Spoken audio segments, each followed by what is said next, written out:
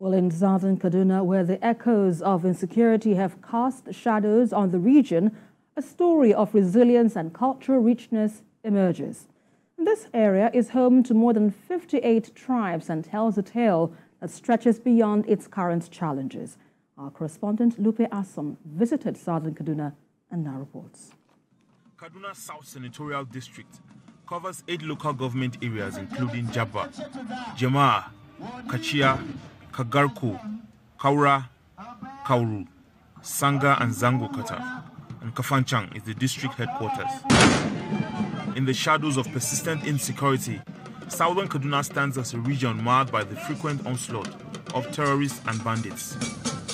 Yet beneath the headlines of fear and unrest, there remains a rich cultural fabric that defines the identity of this land. Despite the ongoing security challenges, a glimmer of hope emerges through the determined efforts of Governor Uba Sani in a bid to restore trust and peace to an area haunted by a decade of instability. Governor Sani has demonstrated an unwavering political will.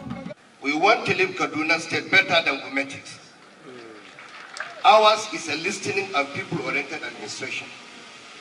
Their welfare and security are our topmost priorities.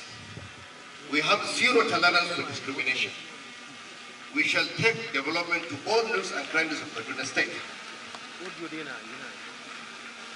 With their support and cooperation, we shall make Kaduna State a model of development and peaceful coexistence in Nigeria.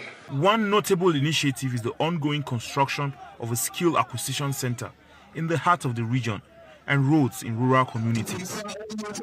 Beyond its infrastructural significance, this skill center carries the promise of transformation. As the construction progresses, the community envisions a future where these centers become hubs of empowerment, providing skill and knowledge that not only offers economic prospects, but also serves as an antidote to the prevailing challenges. The seven points agenda of the government is an eloquent testimony to the fact that there is a new dawn in Kaduna State.